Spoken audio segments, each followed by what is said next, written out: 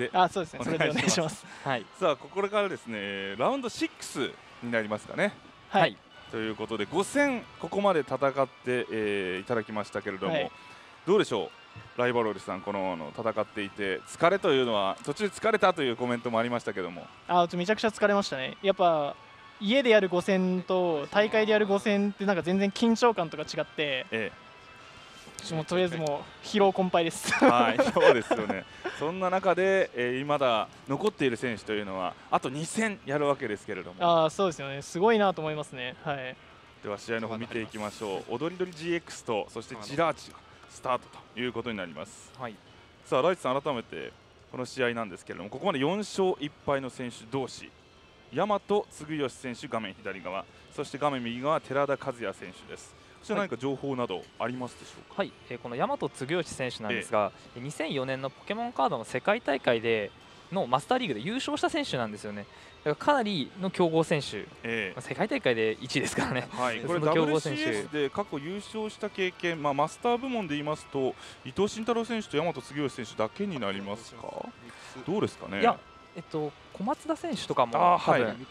多分だあのワールドチャンピオンシップスで優勝した経験が。日本でも指折りのそうですね。け、えー経験をしているとはい、いうことになりますね。その中でまあ今回のマッチアップは、まあ、サイドのサイドの情報を見ると寺田選手が丸役で VMAX かな。で、はい、大和嗣義選手は、えーっとこちらですね。踊り鳥が見えてますがサイドを見るに雷タイプのデッキなのかなとえ思われます。えさあそしてライバルロイさんは、はい。今日いろんなデッキと戦ってきましたけれども、はいどうですか？こうデッキ相性的にやりやすかったデッキやりづらかったデッキとかっていうのはあったりしましたか？やってみて。えっとそれは僕が使ってたデッキで対してあそうですねあはい。そう。あのそれでいうと僕1戦目が、まあ、火の玉サーカスのズガドーンで、まあ配信卓4戦目かな、まあ、火の玉サーカスのズガドーンだったんですけど、まあ、ちょっときついなと思ってたんですけど、うん。しっかり2回とも負けましたね、あ難しいですかやっぱりはい、今回どうでしょう？逆に客観的に見て、まあ、いろんなアタッカーがあるデッキがある中ではい、注目しているデッキなどありますか？あー個人的にはあーそうか。さっき配信にも映ってたんですけどちょ丸役では結構推してますね。あそうですか、はい。まあ、僕は使ってないんですけど、はい。なんか一緒によくやってた人が丸役で使ってたんですけど、えなんか見てて強そうだったんえで。そうですね、はい。安定してこう火力を出していけるこちら画面右側に出ています。丸役で VMAX こちらどうでしょう？ライスさんから見た強みというのはいかがでしょうかね？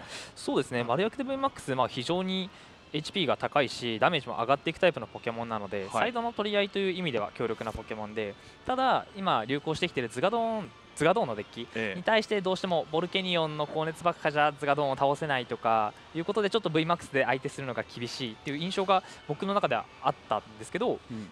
非常に強力なデッキタイプの一つですよね、マレーク VMAX。何かこう安定している。それでいてこう25分という大会時間のルールにもちょうどいいような、まうん。あ、そんな印象も受けますね。そうですね。多くのデッキとのサイドの取り合いをする中ではやっぱり HP 高くてダメージ出せるっていう意味で強力ですよね。ええさまあ、そしてそのまた気になるのが無限ダイナが一切出てこないという はい配信に映ってないんですか、最初に映ってないんですあよ。僕も当たんなかったんですよはい。いなくなっちゃいましたね行方不明になってるんですよね。出てるはずなんですけどね。あそうですね、まあ、あくまで今、あのーえいただいたデータが少しありまして、はい。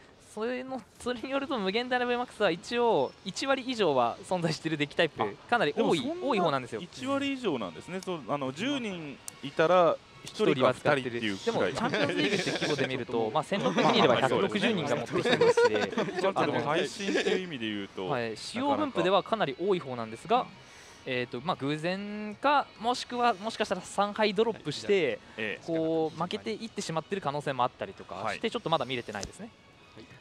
なんて言ってる間に高校最初の番グズマンド・ハラテえサンダーマウンテンクワガノンなどが揃って、えはい。もうグッズード使えなくはいさせる動きができそう。これ？ってか、はい、ありがとうございまあす。終わりですよねあ使えなくするとかじゃなくてこう気絶してしまいました。誰ポケモンいませんでしたね。ちょっと両者ともにですね ちょっと喋ってる間に展開が終わっちゃってましたね。一気に場が動きましたあ寺田和也選手ここに来てうーんまあ種ポケモンケモンがいなくなると。これ仕方ないです。うん。あの僕も今日一回ありました。あ本当ですか？ましたこれはどうしてもねこういうことは起こりますからね。しかもそうですね。クワガノン V、はい。まあそのここ一つ強さでもありますよね。あの電気タイプのエレキパワーあっという間にはい。ジラーチぐらいであれば、そうですね。一旦で倒せてしまう可能性があるというこちらですね。パラライズボルト、まあ、さらには倒せなかったとしても相手が次の番足止めできるかもしれないというグッズを使えなくなるという効果もあります。ちょっとお互いここそうですね通信ばっまあそうですね。仮仮に種ポケモンがベンチに置けててでも、まあ、グッズ使わせないっていうクワガノンの強みがそもそもあったので、まあ、進化とかももしかしたらできなかったもしかもしれないし、はい、まあちょっと今回はこういう展開になってしまいましたが、ええまあ、クワガノンやはり環境的にも強いカードの1枚ですよね。さあ改めましてですね画面に初めて映っていただきますが、ライバロリ選手にライバロリさんに来ていただきました、よろしくお願いします。よろしくお願いします。まあここから本来であればですね、ライバロリさんの試合をここから見ていたんですけれども、はい。もうあのこちらにあーまあ来ていただいているとかったんで。ちょったと最後の一戦見ていてほし欲しいなという気持ちもありましたね。はでもまあ最後話したんですよ対戦相手の方と。はいでなんか俺もまあその耐久だなと思ったんで結構早くプレイしてたし対戦相手の方も早くプレイされてたんで、まあ、特にストレスとかはなかったんで、ええまあ、最後に聞いたんですけどなんか向こうの方もまあ結構早くプレイされあ僕に対してまあ結構早くプレイされてたのに時間足りなかったからなんか仕方ないですねみたいな話してたんで、まあ、お互いちょっと耐久が高いポケモン同士の殴り合いだったんでまあ仕方ないかなって思いますね。はい、難しいですね。どうしても大会のルールというのがありますからね。このはい25分に収めていくと。うんあとセルフカットだからぱ普通にやるよりははいちょっと時。間かかっちゃうかなっていうのはまあその全部対戦通してて思いましたね。はい。3つに分けてこれとこれとこれまあそうですね。まあそれぞれカットの仕方はいろいろあるんですけど、はい。そうですね。まあこう気心知れた中であればね、こそうですねこのはい何も言わずにこれあの指差しだけでいけるかもしれないですけど、はいなかなか失礼になるかもしれませんし。まあじゃあ1カット番目、で2番目、対戦3番目みたいなやっぱ。決まその上に何が来るかとかではい。勝敗がやっぱ一気に決まっちゃうゲームなんでカットはやっぱ入念には行いたいですよね。そうですね。さあ、うん。そして今ラウンド6の戦いご覧いただきましたけれども、ではライツさんからここまでですね、あまり時間の余裕がなくてですね、この対えー試合の MVP のカードみたいなの聞くというね予定もあったんですけど、ここでちょっと聞いてみようかなと。ー MVP のカード、はい。まあ、今の対戦に限らずっていうことはい。ですか、ねあ今今の対今の対戦 です。今の対戦の MVP マッチのか MVP です。今の対戦の MVP は。サンダーマウンテンプリズムスターだと思いますけどね。まああまあそうですね、まあ、グズマンドハラとも言えるし。あー。そうだねあそうですね。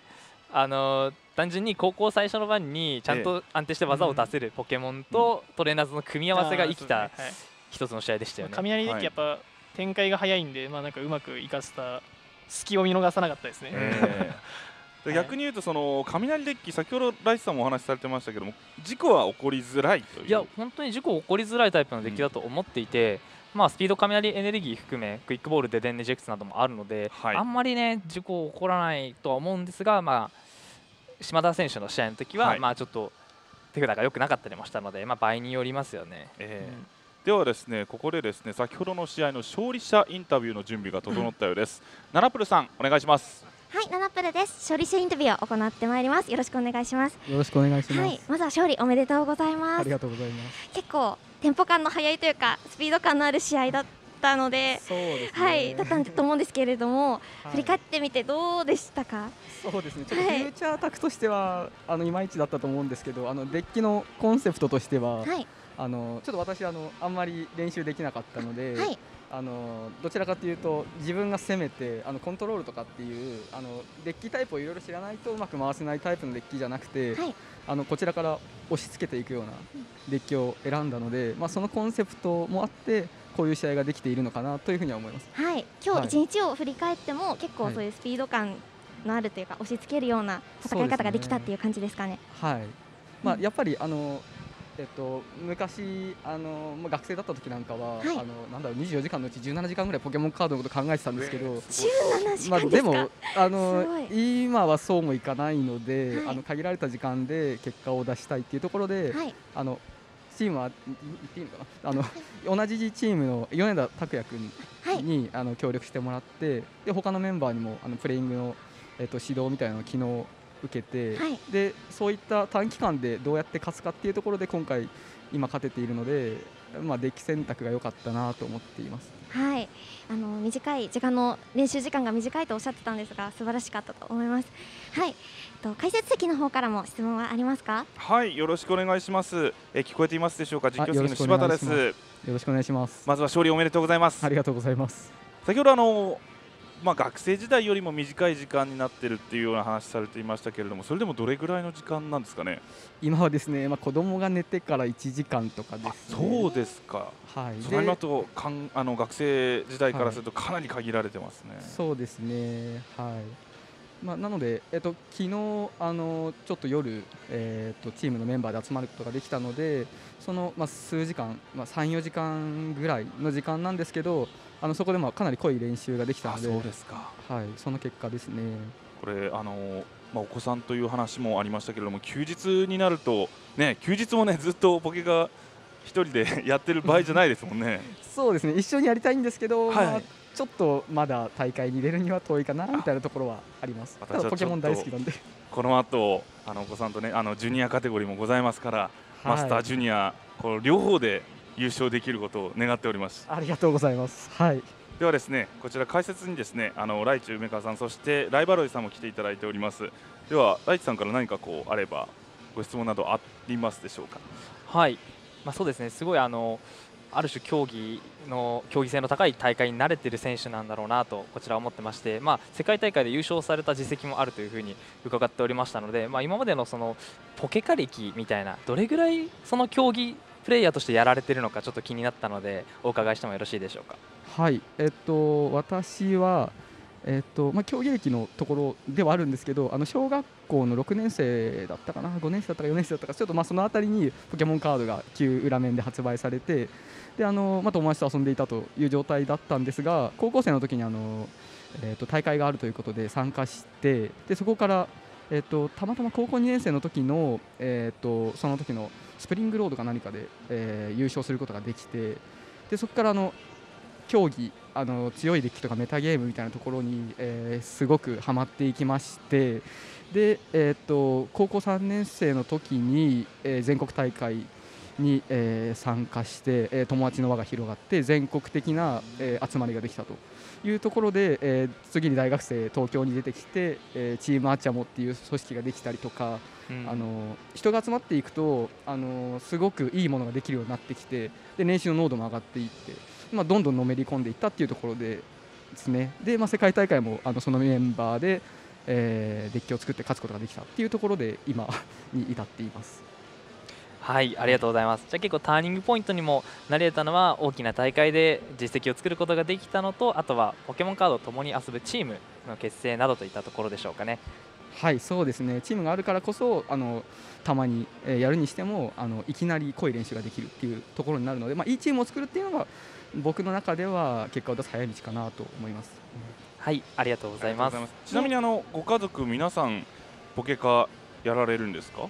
えーっとそうですねやれやってほしいんですけど まあでもあの一緒にポケモンを楽しむっていうことをしてくれるし理解もあるのであのすごく感謝しています。あそうですかはいありがとうございます。ライバルリ。さんからは何かあります？いやまあ羨ましいですね。はい。環境が全部、はい。かあのまあ家族の方、まあ、カードはプレイされてないっええてさっきおっしゃってましたけど、まあ、ポケモン自体には理解あるっていうか、まあ、結構好きでいてくれてる感じだったんでちょっと羨ましいなと思います。確かに。これはあの見てる方もねそう思ってる方多いと思います。いやそれは良かったです。